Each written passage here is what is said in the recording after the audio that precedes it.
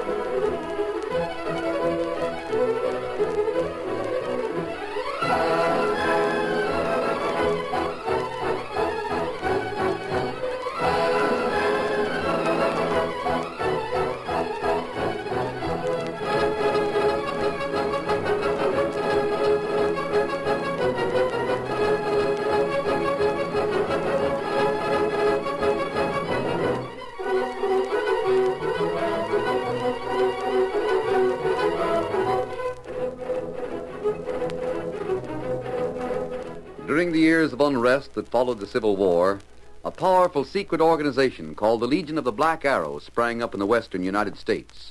Its members were to be found everywhere, defying the law or using the law for their own purposes, working toward the ultimate goal of revolt and the foundation of a despotic empire. It was the masked rider of the plains who led the fight against this band of outlaws and traitors, and for once his great strength and courage, his daring and resourcefulness were taxed to the utmost in the cause of democracy. Return with us now to those thrilling days when the West was young. From out of the past come the thundering hoofbeats of a great horse, Silver. The Lone Ranger rides again. Come on, Silver! We're on the trail of the Black Arrow! Hi-yo, Silver! Hi!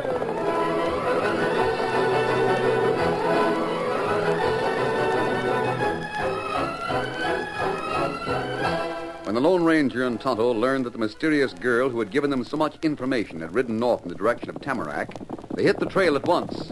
Tamarack, plenty far from here. Yes, Tonto, it's in the foothills. What we do there? All we know is what the girl said. The town's in danger. Oh, big gold mine there. It may be Indians, may be outlaws.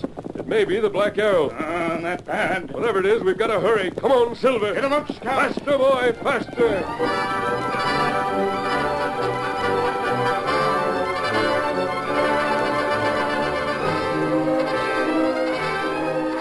As the Lone Ranger and Tonto were racing along the trail, a well-dressed stranger walked into the cafe at Tamarack.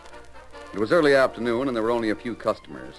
The bartender was sitting at the end of the bar reading a month-old newspaper. He raised his head, looked at the stranger, and then went on with his reading. Well, I don't like to bother you, but uh, how about a drink? Nope, You mean you won't serve me? that's right. Why? There's no place for your kind in Tamarack, mister. You better get out of here while the getting's good, before Tom Conlon sees you. Tom Conlon, huh? Isn't he the one who owns the Rainbow Mine? That's him. Is he the sheriff, too? Nope, just the owner of the Rainbow. That's enough around here. What he says goes. Well, I didn't realize we'd ever met. What's he say about me? No professional gamblers in Tamarack. so that's it. And why do you think I'm a professional gambler? Sure got all the earmarks. Well, don't let these clothes fool you. I'm an engineer, a mining engineer. I'm here to ask Tom Conlon for a job. yeah? Yeah. Now, how about a drink? Coming right up. I'd uh, like you to tell me a little more about Tom, if you don't mind. What do you want to know? Well, uh, how long has he been here? There you are. Four bits. Hey, keep the change. Thanks. I'd say Tom came here about five years ago. It was him that prospected the Rainbow. He worked it all by himself at first, and he started hiring men. Now it's one of the biggest mines in the West. Everybody in Tamarack gets their living from it in some way. And that's why everybody takes orders from Tom. That's one of the reasons, but it isn't the only one. What are the others? We just like the way he runs things, that's all. There's never any trouble here. The boys all make good money, and most of them are married and settled down. Ah. Well, it's unusual for a mining camp. Tamarack isn't just a camp anymore. It's one of the nicest towns in the whole of the West. Think Tom would have brought his little girl out here if it weren't? Oh, he's got a little girl. Just ten years old, blue eyes and curly hair that's got more gold in it than her pa's mine. Name's Mary Ann after her ma. I guess if his wife hadn't died, Tom wouldn't have come out west. He don't ever talk about it, but it must have hit him pretty hard. I noticed a big house up on the mountain near the mine. Is that where he lives? Yeah? Just him and the little girl? Nope, there's a sister, Aggie. She's a spinster lady, mighty set in her ways. If Tom runs the town, then Aggie runs Tom. What's so funny? Nothing. That little blue-eyed Mary Ann runs them both.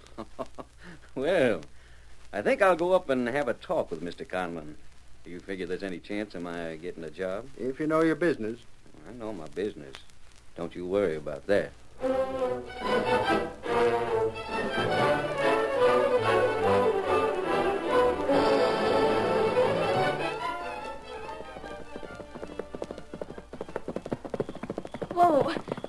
Ginger. Mary Ann, Oh, gosh. young lady, do you realize it's after dark? Where have you been and what have you been doing? I'll tell you all about it in just a minute, Auntie. But now I've got to unsaddle Ginger. You just leave him for Sam. You're coming right inside the house with me. Come along. Yes, ma'am. Well, I'm waiting.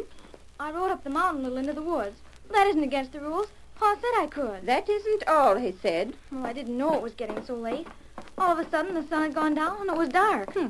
There's nothing strange about that. Inside. Yes, ma'am. I ought to spank you. Yes, ma'am.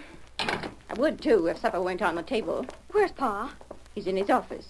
Is he waiting for me? No, there's a gentleman with him. As a matter of fact, I didn't tell him you weren't here. Oh, thank you, Auntie. You're the sweetest aunt in the whole world. No such thing. Uh, you set down each of victuals. Isn't Paul coming to supper? He'll be out as soon as he's finished with his business. What were you doing up there, child? I I can't tell you. You what? It's a secret, and I promised. Well, now, I think maybe we'll forget all about supper and... Oh, please. You wouldn't want me to break a promise, would you? Who were you talking to? I didn't say I was talking to anybody. But you must have been Mary Ann. Now, don't make me lose my patience. I want to know who was up there with you. It was a lady. She was the beautifulest lady I ever saw. She was the beautifuler than the fairy princess in my book, and she gave me a secret message. Fairy princess. Secret message. Stuff and nonsense. Mary Ann, when you make up stories like that, it's just the same as telling a fib. But I'm not making it up. Well, she'd look just as real as you do. You were dreaming. Well, I don't think so. Uh, You must tell me the truth. Did you fall asleep at all? Yes, Auntie. That's why I was so late. The pine needles look so soft, and they smell so good. I was just going to lie down for a minute, but I didn't see her when I was asleep. She rode up on a beautiful black horse with a white star on his forehead. I was awake. Hmm. You drink your milk and forget about it. It was a dream. All right. Land sakes, I guess I can't blame you for imagining things. I used to do the same thing myself when I was your age. Only you shouldn't. Well, I guess that's... Oh, here's your paw, Mr. Crawford, now. Well, let's hope they've left some food for us. Oh, there's a plenty, Tom. Sit down, Mr. Crawford. Rance, this is my daughter, Mary Ann. Well, howdy. I've heard a lot about you, young lady. Have you? Ah, but you're twice as pretty as they said you were. What's your name? Rance. Rance Crawford. Oh, Well, what's the matter? Don't you like me? Of course she does. It isn't often she sees a stranger around here, though. She's a little shy. Uh, Aggie, Rance is going to work for me. Oh, I'm glad to hear it. He's going to help me in the office. Oh, well, that's fine. Paperwork always gives Tom a headache, Mr. Crawford. Would you mind making that uh, Rance, Miss Conlon? Oh, not a bit. Pass the biscuits to Rance, Mary Ann. I won't. Child. I won't. I won't do it. I won't. I won't. I won't. Well, what on earth? Oh, it's all right, Tom. The child's nervous. She had a bad dream this afternoon. I'll go up to her room with her. That was the front door, Aggie. Good heavens. What's got into the Oh, child? now, don't worry. Mary Ann! That's her pony all saddled. She's mounting. Mary Ann! I'm going after her. Hurry, Tom, hurry.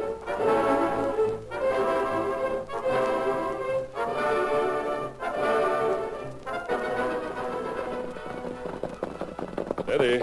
You were right, Tonto. You can see both the town and the mine from this ridge. Ah, Doesn't look as if anything's wrong. Tonto not see anything. That girl wouldn't have come here if there weren't going to be trouble. That right. We'll make our camp back in the trees, and then we'll. Someone riding this way, Tonto. Ah, their trail over that way. We'll see who it is. Come on, Silver. Get him up, Scout.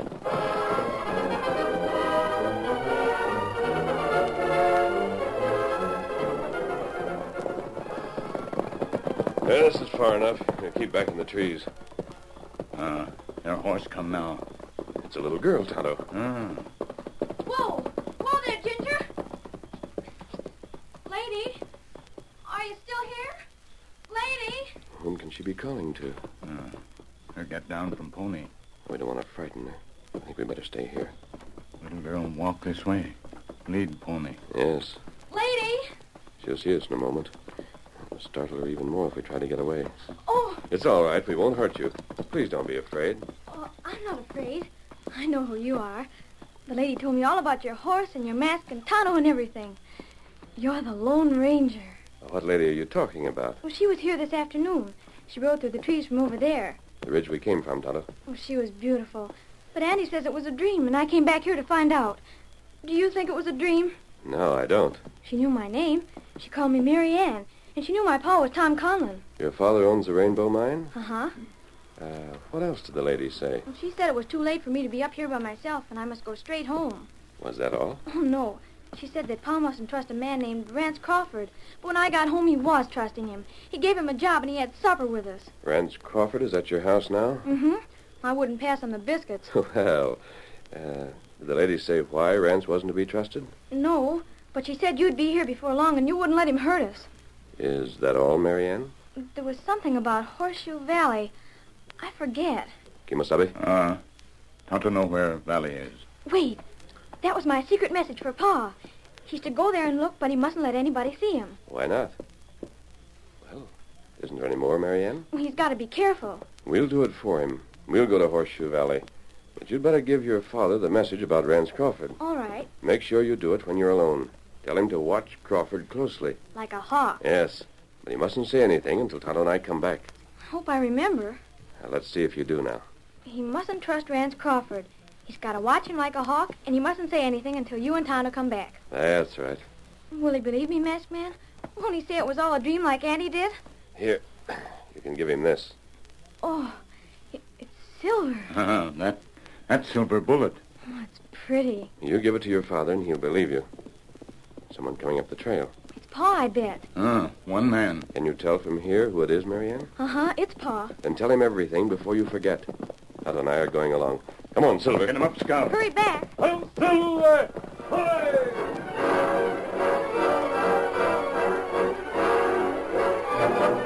The trail to Horseshoe Valley led the Lone Ranger and Tonto higher into the mountains. But after an hour of climbing, it leveled off, and the great horse Silver and Scout increased their speed. It's not long now. Trail start down. The girl warned Conlon to be careful. She may have been afraid of an ambush. Ah, Tonto keep watch. Wonder what we'll find. Round this turn, you see Valley. Rein up, Tonto. Steady, Oh, Silver, oh, steady. Oh, oh. Look at those campfires. Ah, plenty men down there. Hundreds of them. That's almost an army. Ah, They aren't Indians. no. They aren't soldiers either. They aren't wearing uniforms. What do you think, Kimasabi? What can I think? It's an outlaw army. An army of the Black Arrow.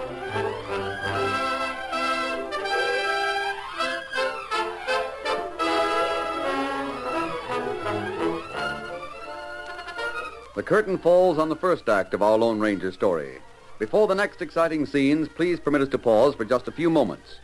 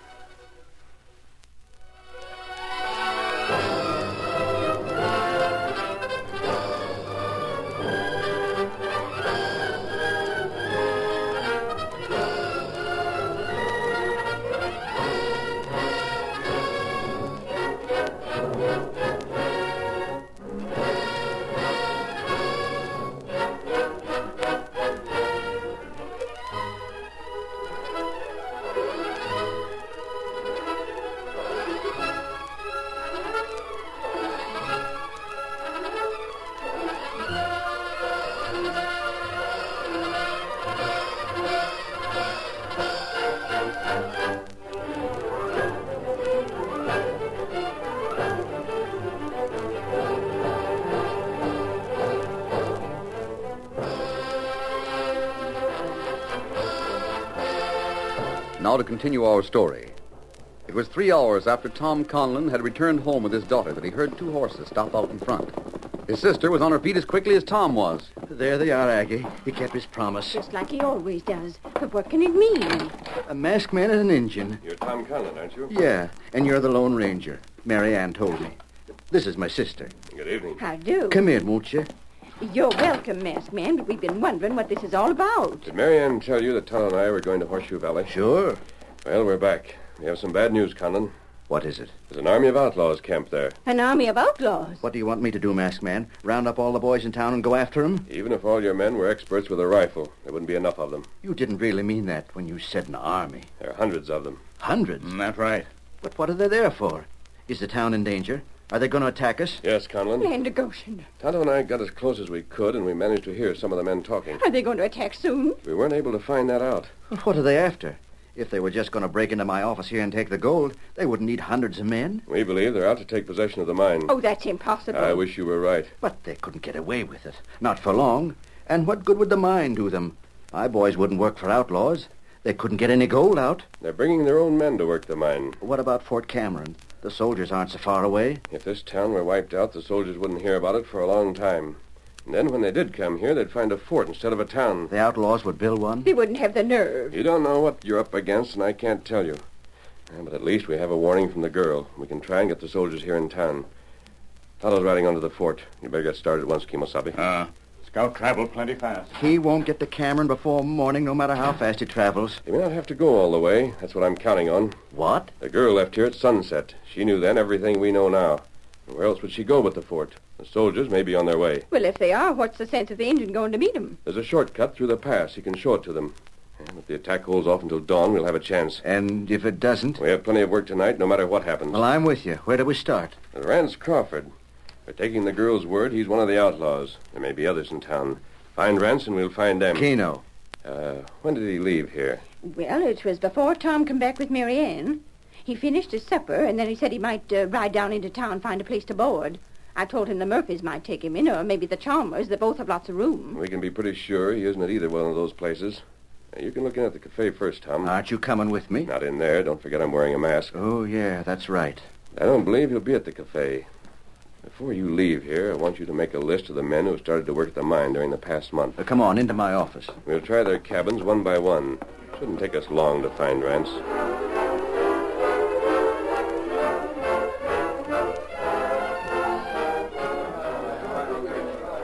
Quiet down, boys. Is everybody here, Vic? Yeah, Rance. Where are your rifles? I got them cached outside of town. Good. You can pick them up on your way to the mine. What are we going there for? You're going to take it over tonight. Are there any guards? One or two. Be careful. Knock 'em out. Don't use your guns. Yeah, but why the mine? Why can't we leave that till Bart gets here? Because it's the one place they can defend around here. It's got big rocks to protect it from anyone coming down the mountain. And if Mac hits the plain north of here and circles around to attack the town from the east, the mine's on higher ground, don't you see? Yeah. We gotta take it over tonight. Tom Conlon's place isn't far away. Just make sure those guards don't make any noise and you won't have any trouble. Up with your hands, all of you. Hey, a masked man, Tom Conlon. That isn't all. The sheriff's here in 20 minutes. What's the idea? You can take 'em prisoners, Sheriff, the whole lot of 'em. Put 'em in jail where they won't make any trouble. You can't arrest us. We haven't done anything. You ain't going to either. Well, now listen, I'm an engineer. I just got here today and I just met these boys. We're gonna have a little card game. It won't do, Rance. Why, you haven't got anything against me? Too bad you forgot to close that window. We heard plenty. No. Now listen, There's you. no time for that. Move them along, boys. They're heading for jail. Go on, go on.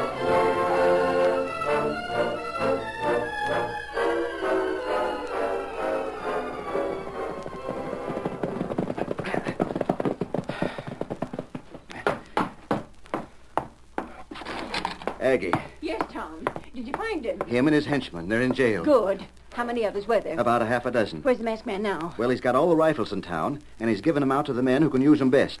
He's got the others building earthworks in front of the mine. Earthworks? That's where you're going, Aggie. You and all the rest of the women folks. Into the mine. Get Mary Ann dressed right away. You figure it's going to be Uh, bad? you can judge as well as me.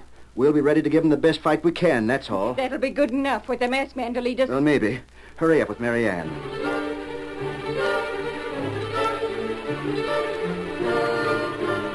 The women and the few children in the town took their places inside the mine. The men toiled away at the earthworks, and when the first fringe of gray rimmed the sky to the east, the rainbow had become a fort. The Lone Ranger and Tom Conlon stood on the rocks above the mine and watched both the mountain and the plain below. What do you think, Masked Man? Which way will they come? We'll have to wait and see. You think it'd be down the mountain. That'd give them the advantage of the higher ground. Yes, but if they take the north draw down to the plain and circle through the town, they'll have the sun behind them. Uh, we'll get 'em whichever way it is. Do you remember one of those crooks mentioning a name? He said, uh, when Bart gets here. That'd be Black Bart. You know him? He's the worst cutthroat this part of the country ever knew. Oh, if only they'd said when it was going to be, Masked Man. It's getting lighter. No sign of the soldiers. Wait. Out there beyond the town, that long black column. Not that. No, not the army. It's coming from the wrong direction. Too much to the north. Come on, we got back to the men.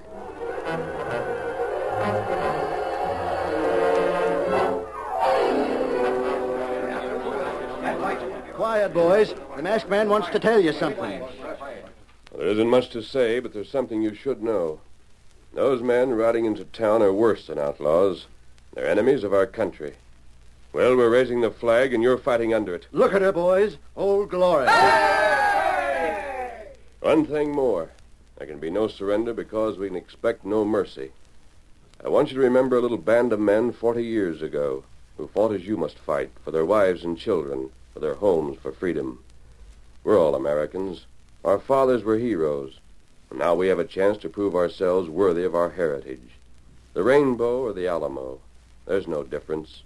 We're fighting for freedom. They've reached the town. Your postmen. The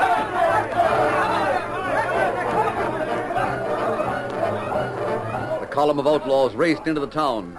Some of them carried torches, and the buildings that lined the main street burst into flames. It was not long before they realized not a man, woman, or child were left in Tamarack, and the sight of the earthworks and the slope of the mountain showed them where the townspeople had chosen to make their stand. Black Bart rallied the men to his charge.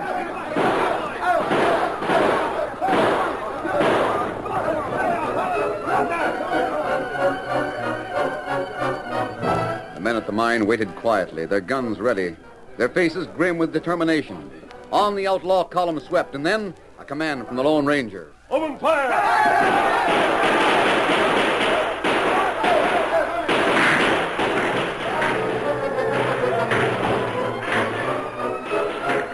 The first charge was broken, but a second followed almost at once, and then a third. The outlaws paid for each attack, but so did the defenders. At first, there were more men than rifles, and when one of them fell, another would grab the rifle from his nerveless hands. Then came a time when the rifles way with the men who had held them. Another charge. The outlaws attacked on three sides, and the Lone Ranger rallied the men at the weakest point. Drive them back, boys. Drive them back. Remember what you're fighting for. Black Bart turned aside. His men followed him. Once more, the fort had been held, and then That's enough, men. Cease fire. You're wounded, Masked Man. There's nothing. We'll have a few minutes now. You can take some of these boys into the mine and have their wounds dressed. It's all right, oh. soldier. We'll get you fixed up. Jerry, give me a hand with Bill. Yeah. How much? How much longer can we hold out, Masked Man? As long as we have to. Eh, there isn't many of us left to fight. Don't try to talk. Just promise something. Keep the flag flying. It's a promise, soldier. You can put him right down here, Masked Man. Howdy, Miss Conlon. Howdy. Now you keep quiet. This is no time for conversation. Masked man, please, won't you let me bandage your arm? It's only a scratch, Mary Ann. I have to get back outside. Please. All right. Tom. Yeah? Call me if they start back. It's more than a scratch. I'm not wrapping it too tight, am I? No, that's fine. There, Hold it there. Mask Man. I'm coming. Oh, dear, again. There. Thank you, Mary Ann. They haven't started yet, but it looks like they're getting ready. There's Bart by the big tree. Good news, Tom. Good news. Look, beyond the town. More men. They got reinforcements. Those aren't outlaws. Look in front. You can see the colors. The flag. Get your horses, men. What's that? Bart and his men will turn to meet the soldiers. There aren't many of us here, but if we charge at the right minute, we'll catch them between two fires and cut off their retreat. Are you with me? Then come on!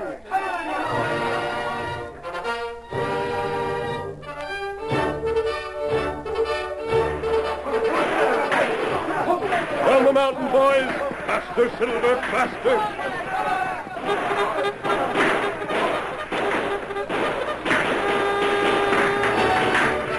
Tonto rode beside the colonel, and as the troops flashed into town from the east, the Lone Ranger and the men from the Rainbow headed down the mountain. Now the odds were even. And the masked man's sudden charge gave the advantage of position to the soldiers and the miners. The outlaws, suddenly put on the defensive, tried to organize themselves. They fought on for half an hour. Then a bullet in the shoulder knocked Black Bart from his horse. Suddenly, the renegades lost heart. Unable to break through without any chance of escape, they threw down their guns and shouted their surrender. They're giving up! Cease fire! Close in now! Take them prisoners!